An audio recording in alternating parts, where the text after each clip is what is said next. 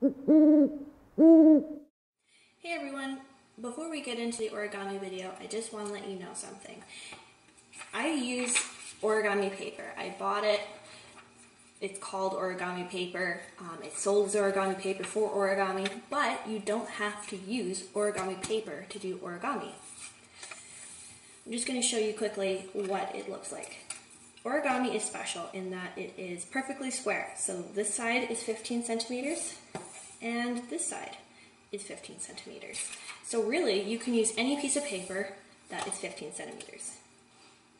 So this right here, I'm going to show you how to use construction paper to do origami.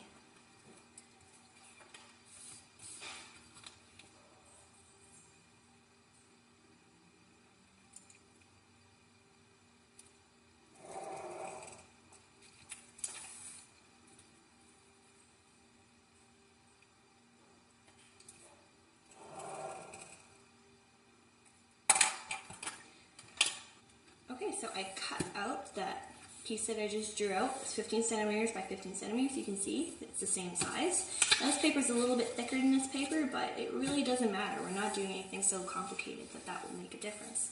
So I'll just quickly fold something really quickly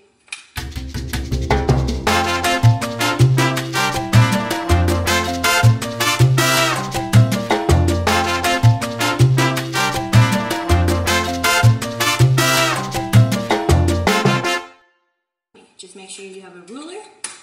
And any size you want works. I recommend 15 by 15 centimeters because that's what this one is and it's just an easy size to use, but you can really do whatever you want as long as it's the same, same length on every side, you're good. And now onto the video.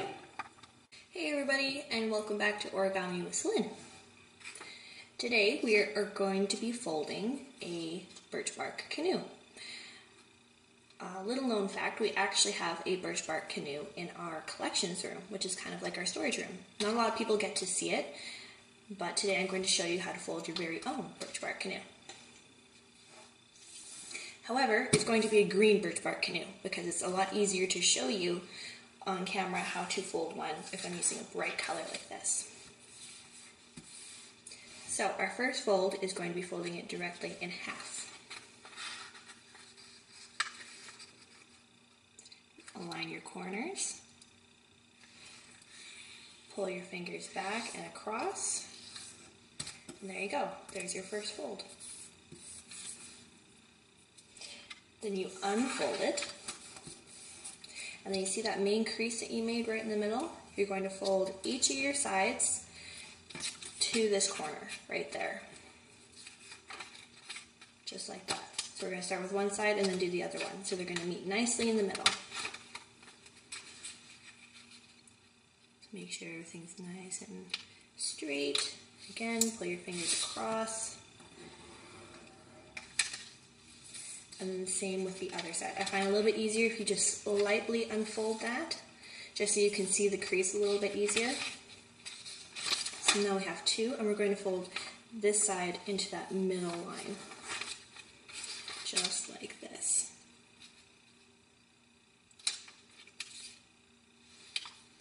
And across. There you go. So now you're going to keep these flaps closed. And now we have kind of like a book. So now we have these four corners. One, two, three, four. And we're going to be folding this corner into here, this corner into here, this one into here, this one into here. So you're going to replicate the same step on all four corners. And this is how you do it. You go, you take your corner, pinch your finger, put your fingernail right about here. It makes it easier for the paper to fold. You don't have to if you can figure a way around it, but I find it's easiest if you go like this. And then fold directly along that line. And it's nice and even, put your fingernail across it. So it's going to look something like that. Just like that. So now you're going to complete that on all four corners. Get the one across from it. Again, put my finger there so it's easier to fold.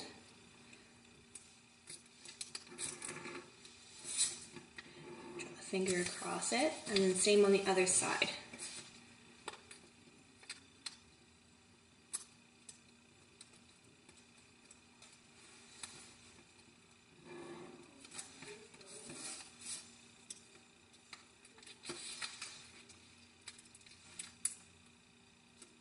Just like that. So now this is what it should look like. Flap here, here, here, and there. So now, this is when it gets a little bit trickier. You're going to take this one corner here, this one here, and fold it again, very similar to what we just did, down to here. It's going to try and fight you a little bit, but just be patient, and it should work out. So we're going to take this corner, put your fingernail here so it folds nicely, and tuck it right up to that line. Whoops. See, it wants to fight you a little bit. Like that. Pinch that corner down so it stays, and then drag your finger up so that it looks like this. And then we're going to do the exact same thing on this part. So again, we're going to pull this one down and match it to where this corner is. So pinch your finger there, fold it in so that it matches. And if it doesn't match perfectly, like mine isn't matching perfectly, it won't matter that much. We're not expert level origami folders yet, so. Okay, so now this is what it should look like. Almost looks like some kind of plane. So it looked like to me anyway. Okay, so now we're going to do the same thing, and this one's even a little bit trickier. It's going to want to fight you a little bit more. You're going to take this corner and fold it down. The exact same thing that we did here. It's going to overlap a little bit, so it'll want to twist. Just make sure that you're using a lot of pressure on your, on your fingernails. So we're going to take this corner, sorry, this corner, and we're going to fold it down. Easy, put your fingernail there, pinch it, pinch the top, and drag your nail across it. There we go. So it's going to look something like that. And now you're going to do the same thing with the other side.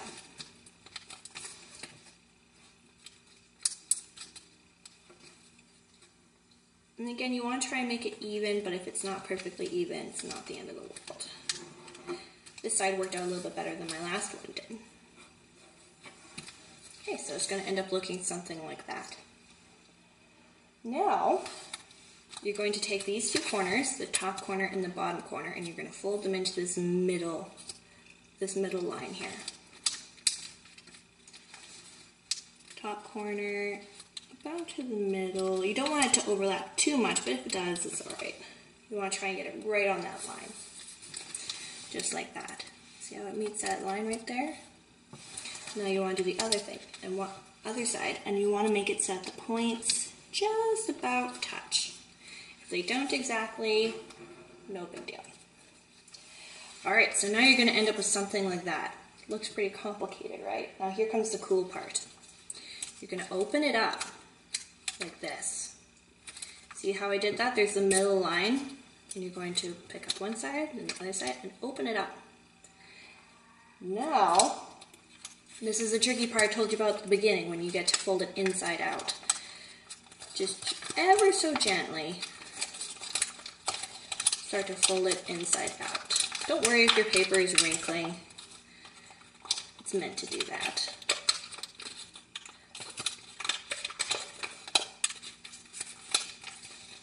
And look at that. A beautiful little canoe. These are all the other ones I folded. There's my birch bark canoe, just a regular old white one, and one with color on the inside, but I used brown. So thank you for watching Origami with Celine. Uh, I uh, hope you enjoyed. Tune in next week for Painting with Megan.